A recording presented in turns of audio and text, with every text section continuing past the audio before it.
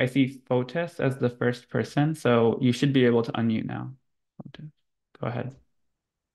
Uh, yeah, just very, very quick question. Like, um, most of the interviews are nowadays like happening online, which means um there should be transcripts, you know, like there there, there should be all types of additional functionalities that go with an interview and along an interview just to assess the quality both of the interviewee and the interviewer. Uh, my experience with it is that like um, I had an interview, very big company, really wanted to work with them. Basically, every single question and every single answer after that company was kind of released to a competitor company, and I could see like very, very relevant LinkedIn posts uh, being posted like literally the next day, which kind of meant that something must have kind of slipped during that interview process. Um, what's the best way to kind of get access to that type of material and to get an, a framework in place so that both interviewer and interviewee uh, do do do adhere to specific principles when interviewing? Yeah, okay. So there's not much we can do about the quality of the interviewer, right? Like there is a very clear power dynamic.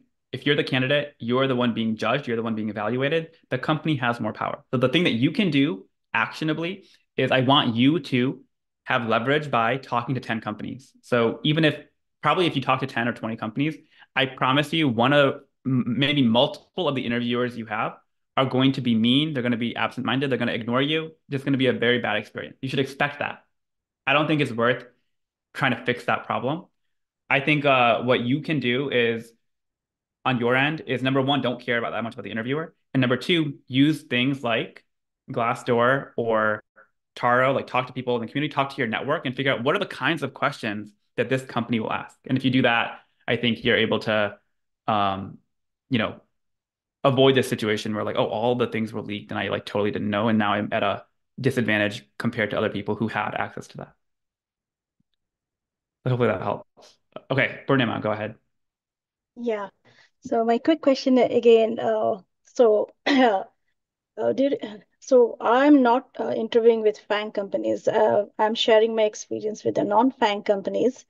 So uh, um, all rounds are around, uh, all interviews are around five or six rounds, and I find myself the interviewers are repeating the same questions in every round and if if each round is around 45 minutes or one hour they ask two LeetCode questions and uh, last 15 minutes behavioral rounds where they kind of you know bombard me with questions as if i have to immediately retrieve the answers from my memory and it is extremely difficult experience of you know interviewing with the non-FANG companies because in my experience they don't have the experience of interviewing their candidates. Uh, and in, in one experience, I have like LeetCode question. I was solving on the online platform and that had uh, compilation issues, like the compiler was not working and the interviewer was not able to help me. So, uh, I mean, I don't know, I, I should stop interviewing because this is not, I, I feel that I'm wasting my time with this kind of interviews where I'm bound to fail. Yeah, I can take this one. So as Rahul mentioned, you can't control the quality of the interviewers, and a lot of interviewers are bad. This is actually covered in the course. This is an important thing to make peace with, which is most interviewers are bad. And yeah, as you mentioned, um, when it comes to FANG companies, yes, there's a lot of mean, very almost evil interviewers at FANG.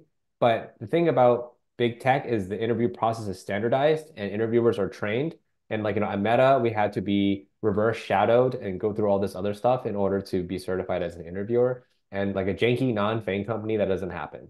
So, you know, my advice is just kind of the mentality thing from before. Just just don't let things get to you. Just be zen. Like sometimes you'll go into an interview where you have no chance of passing because the interviewers are just terrible people.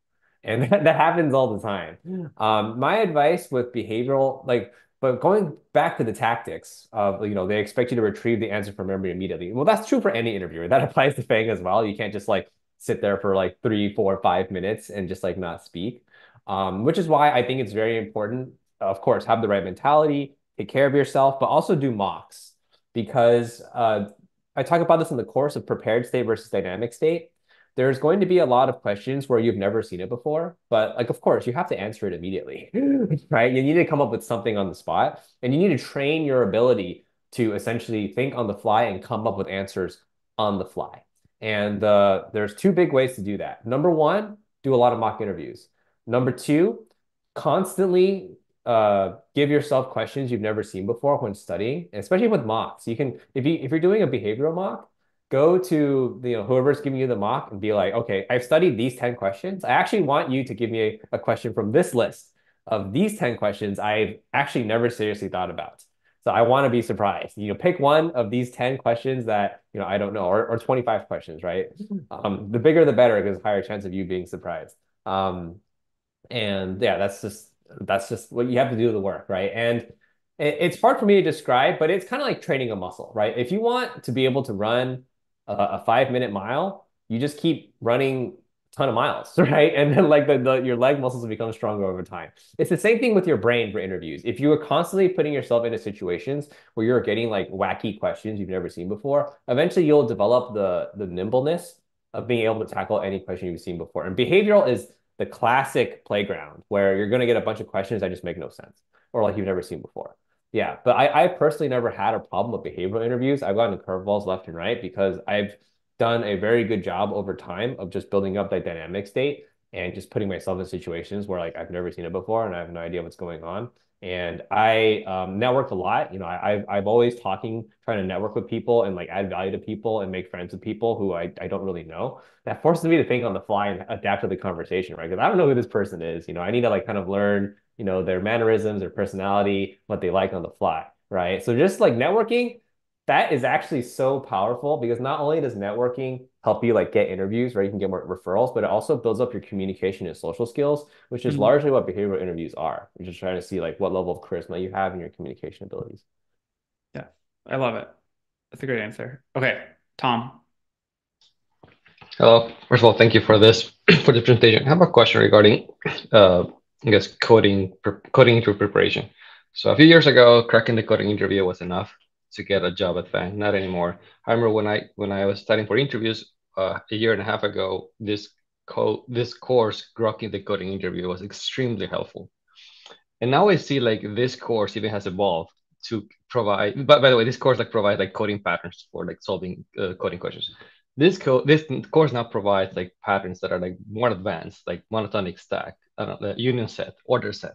So I'm wondering, do you see this trend like for this interview is becoming more and more difficult, like reaching maybe the competitive like programming level style questions. Yeah, I that that is a trend. That is absolutely happening in the past 15 years where um the the awareness of DSA was so low it like required people to think on their feet more and it like favored those few people who had frankly like college degrees at top universities who had gone through algorithm uh courses. But now that knowledge is so commonly understood. And there's so many courses that any YouTuber out there is going to have, please buy my DSA course. And I'm not saying that those are not valuable, but what that means is that um, everyone is going to get better at that skill, and companies are therefore having to raise the bar in order to figure out who they actually want to take.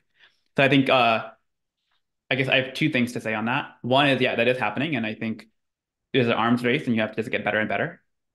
Um, and the second thing is that if you choose not to play that game, and I think you have to figure out alternative paths or companies which have alternative forms of evaluation. And by that, I mean like startups, which are usually a bit more open or flexible to, oh, let's just do a take home. Let's do an actual practical coding assessment instead of LeetCode or competitive programming, which is, I think, you know, where things are are trending. Right. And I think also that means that we should try to keep up with this coding interview skills even when you're not looking for a job. Mm, yeah, I don't know about that because I feel like keeping up with coding skills is like a parasitic activity where it's like not really helping you with your main project at Google or Microsoft or you know Facebook. Like it, it, those things that you um, prepare for don't actually help you get a good rating at the company. So if you're content and you plan to stay at a company for two or three years, which is what I recommend anyone do if they're at a mid level or higher, but you should plan to stay put. Then I think that you actually don't like I actively think you should not spend too much of your week doing DSA. I would instead rather you focus on you know, working with your manager, working with your team, communication within the team. That's how you'll get promoted. And when you do want to do interview prep again, then I think you can really sprint on it and like get good after like a couple months of prep. Got it. Thank you for the input. Yeah, thanks, Tom. All right, uh, Vikram. Oh, sorry. Try unmuting again. Hello. Yes, we can hear you. Okay, so as a rising junior preparing for summer 2025 internship interviews, so based on the time scheduling you guys were talking about earlier, would you adjust anything about that for internship interview prep, both before and after the applications open?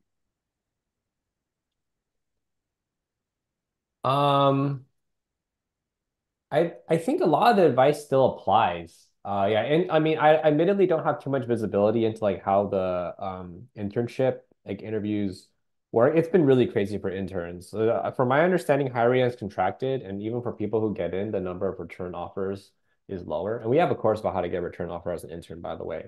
Um, but I think uh, what I recommend for uh, college students in particular is networking is really important. Like this market is extremely bad for junior engineers, like astronomically terrible. Like I still know a good amount of college students and like the career fairs are like a lot thinner. So I know it's hard and this this was me. So like a lot of computer science students are like pretty shy and like therefore not very good at networking and that was me but the, the the the sad thing is that well the, the painful thing is that when you're in college it's literally the easiest time to network literally because when you're in college, I'm, I'm like you're returned back to the campus. I think most people are. COVID's not really a problem anymore. You are literally surrounded by people who are studying the exact same thing, taking the same courses, and they're around the same age, and they're oftentimes from the same location because a lot of people, most people prefer to go to a college like you know nearby, like in the same state or province or whatever.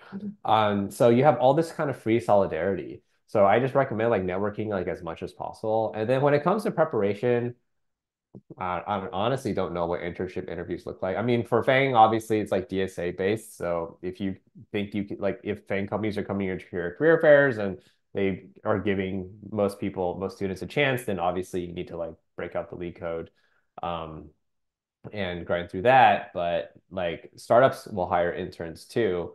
And I think for most startups, especially if it's early stage, they probably won't ask as much C code, in which case side projects will be more helpful because it's more practical coding. But yeah, I don't think there's anything in particular that's special about like looking for internships, you know, applying to them and preparing for them compared to everyone else. I think a lot of the advice we gave is still the same. And the difference is that networking is just way easier for a college student than it is for like people who've graduated and are now in the market and just you know they've spread out and moved to different places to work at different jobs. Yeah youth is an advantage. Take advantage of being young and saying hey yep. I'm, I'm, a, I'm a college you're a junior i think Vikrant, right? So i'm a junior i'm starting out my career i'm so eager to learn. Like that like you know as a 32 year old i feel like i can't get away with that anymore. Yep. But maybe you can. So i think yeah i think that's a great answer. Um you know, college fair, like the job fair that you have at your college, that's a big one. And I think the other unfair advantage that you have as a college kid is your alumni network. Like if you go out and say, hey, I'm a Stanford student, you're a Stanford alum, please help me, I'll help you. So yeah, okay, yeah, we... give it a shot, you know. Yeah. exactly. Give it a shot. Yeah, okay. yeah. Go go to the clubs, form study groups. That's a big one. You know, you can meet people, you can meet other students at career fairs, you can help each other do mocks, review each other's resumes, you know, and then oftentimes like you know a floor of a college dorm is like a common area right? You just hang out there you know just just say hi to people optimistically just just meet people man. Yeah. Okay. Yeah thanks for the question. All right let's do one last question. yeah, last one then last we one. will uh wrap it up. Okay so priyanka yep. you're sasha will eric i'm sorry. We'll um you know we'll try and do more of these live things soon. And also of course taro is, is where alex and i spend most of our time. But okay priyanka go ahead uh, yeah, thanks for the platform, uh, Rahul, Alex. Uh, so my question is, um, I've never really had trouble uh, re receiving offers, right? Uh, like over the past three years, I've received almost like 10 offers in all, and I've uh, the the the my previous work, uh, my previous uh, company where I worked at was really good. I gained a lot of experience really fast because it was a startup. Uh, but it so, soon turned toxic, so I had to move to a different company. And right now, I feel like I've stagnated a lot in terms of learning, and I'm sort of not enjoying my work. And so, uh, basically, how do you uh, choose companies that uh, actually that that that lets you solve complex problems, right? So I've always had that trouble. Uh, I mean, I, I could never really filter out companies where when I would enjoy the work more rather than uh, yeah, uh, where it's not just about money or work-life balance. Yeah, okay. So I would say a couple things. One is that um, reputations matter. Like there's a reason why Fang has a good reputation, and there are things you can take issue with, uh, uh of course. But like for the most part, Fang is prestigious and has a good reputation because the people are smart, you get paid well, and there is some sort of interesting work that happens. And so I think, you know, relying on that, if you go to some company, I don't want to call out any company in particular, But like if you go to a company which doesn't have as good a brand, yeah, I mean, like it might be harder for you to find interesting work with smart people. So that's one part of it. The other thing I would say is that um, oftentimes like leaving your job is the nuclear option where it's like, okay, I'm going to like literally leave and do all this high friction work to go join another company. If you're working at Meta, there are a lot of teams at Meta or Google, I guarantee you, which are just very, very boring. I know people at those teams and they're just not happy. And so I think just be creative about, hey, can you either invent a role at the company? And uh, I think a lot of the best engineers actually are able to do that, where it's like, hey, I can like, I have this passion, I have this problem I've identified. I'm going to create my own project or team, perhaps. Or can you switch to a team which is more interesting? So like, you know, ML, AI is super hot right now. So can you figure out how to network with the right people, the right manager, so you can actually switch into a more interesting area for you? So those are kind of, and I guess, yeah, I guess like the other thing I would say is just talk to people. Like talk to people. If you're evaluating a company, talk to your friends, talk to um, people who have worked there in the past and get their honest opinion about what kind of work um, they did at that company and if it could be an interesting fit for you. Okay. Yeah, that's good advice. Thank you. Yeah, thanks. Okay. Um, I think that's it. So I wanted to say one last thing is that um, I really missed doing this, Alex, with you over the past. I think we haven't done it in like seven or eight months. So this is super fun. I loved, you know, seeing the questions and just presenting. So um, I'm hoping we can do this more. If you found it helpful, here's what I would request. One is connect, follow us on LinkedIn. Would love to keep that relationship alive. Of course, if you want to join Taro, that's even better. That's where I spend, both Alex and I spend a lot of our time every week just answering questions on Taro, which we love doing. And then also, if you found it valuable, please take a screenshot of what you're looking at right now or a screenshot of anything else that you saw today, and then tag us on LinkedIn. Tell us, tell us and other people what you liked or what was insightful. And I think it'll really be able to help your own network. And then we'll also try and amplify you if you if you tag us or if you share it. Okay. Alex, any last remarks? Yeah, I always say at the end of these sessions that I mean this session was free. We, we didn't charge you a penny to get in, but you all of you, you know, especially the ones who stuck around for the Q&A an hour and a half, you gifted us your time, right? And we hope that we were able to exchange that time with wisdom that actually helps you with the job search and gets you an offer. Like this economy is brutal. It has been so hard for me you know, mentoring all the engineers in the Taro community and seeing all this pain, right? Um, so yeah, I hope this was helpful for you. If you want to go even deeper, you know, you, I shared a special link to get Taro Premium. You unlock the full course, you unlock office hours, the resume events, DSA events, all this other stuff to support you on your journey. Job searches are long. Like most people are taking three, six, nine, 12 months to find a job in this market. And Taro is here for you every, every step of the way. But yeah, thanks for joining Rahul and I on this Saturday or Sunday. I don't know. It's probably Sunday somewhere in the world. And uh, listening to us ramble for an hour and a half. Appreciate it. hey, okay, thank you. And let's, we have our tradition here. So what I'm going to do now is allow everyone to unmute and everyone can unmute, say whatever you want for 30 seconds, and then I'll end the call. Okay? Thanks everyone for joining. Okay. Thank you. Bye everyone. See Thanks, you. Ro. Thank you so much. Thank you. Thank you. Thank you. Thank you. Thank you. Thank you. Thank you. Thanks, Thank you, guys. Alex. Thank you. Thank you. Thank you. Appreciate it. I need a job. Burgers, you know, burgers.